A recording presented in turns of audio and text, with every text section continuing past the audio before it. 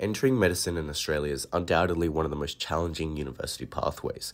It requires many hours of study and plenty of hard work, but with the right passion and commitment, you could find yourself as a future doctor. Hey guys, welcome back to the channel. My name's Eoghan and I'm a first year medical student studying at Monash University Australia. This is my first video on the Entry to Med series where we discuss the tips and tricks to help you secure a position at an Australian medical school. Today we're taking a look at the guide I've created for you guys to help you decide whether medicine is the right course for you. I've broken it down all into the core components so please stick to the very end of the video to make sure that you don't miss out on anything important. And without further ado, let's get right in. So in Australia, you have two types of course structures. You have undergraduate and postgraduate options. And with that, you also have two types of payment options, which are Commonwealth supported places or full fee paying places. Undergraduate courses are generally five to six years, and you can enter these straight from high school compared to postgraduate, which adds up to seven years because you have to complete a bachelor's degree before you can enter the medicine degree. However, do keep in mind that no matter where you go in Australia, you are fully accredited to practice as a doctor, either through the MBBS degree or the MD degree. For payment options, Commonwealth supported places or CSPs generally set you back about $11,000 per year or otherwise if you choose to go to a full fee paying university, you're looking to pay about $60 to $80,000 a year.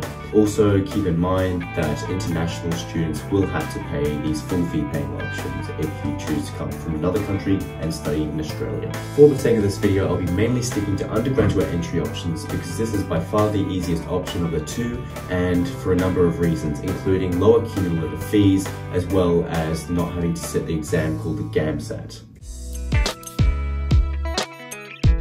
In terms of requirements for entry, these are usually broken down into three categories, which are the UCAT, ATAR, and interviews. These are balanced with a one-third split between each, and so in year 12, it's really important to balance all of these equally to make sure that you end up with a good chance of entering med school. Thankfully, in 2022, I ended up with a good, well-rounded balance of the three, and I was accepted into almost every state for medical school in Australia. So the UCAT is the University Clinical Aptitude Test, which is a two-hour computer-based online exam which tests cognitive ability for the fields of medicine and dentistry. It has five subtests in total, so you have verbal reasoning, decision making, quantitative reasoning, abstract reasoning, and situational judgment. And you are scored out of a mark of 3,600. Generally, a competitive score to enter most medical schools is around 3,000 or the 90th percentile, but this obviously varies largely from uni to uni. As you can see from a bunch of SAM questions here, the exam quite closely resembles something similar to an IQ test, but it's obviously geared towards a framework of thinking that's required for medicine and dentistry specifically. It's worth noting also that this exam can be used for entering New Zealand medical schools too, so that's cool to know. As for the ATAR, this is the Australian Tertiary Admissions Rank, which is a ranking basically generated from your Year 12 subjects in high school. And there generally is a subject prerequisite for medicine of doing chemistry and also having a passing grade in English. ATAR is a ranking from 0 to 99.95, which basically represents a percentile on a bell curve where you're ranked against other participants in your state.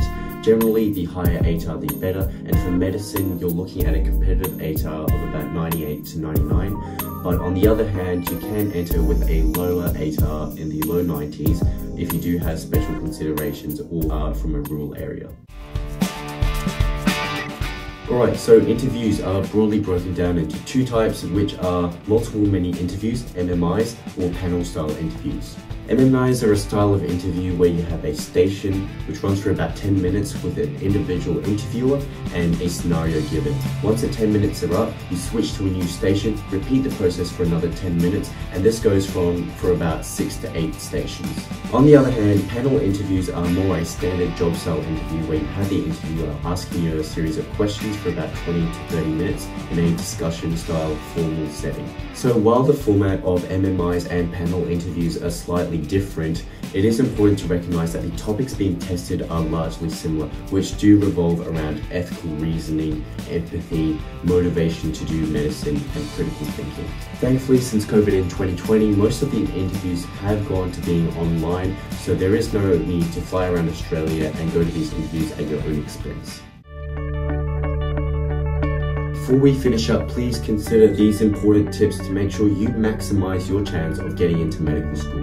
Firstly, understand that there are multiple pathways to getting into med. It is not a be all end all type situation. If you don't get in the first time, there are other ways to get into. You can go through the postgrad option, you can take a gap year to reset the UCAT, you can switch out of another degree if you don't like it already.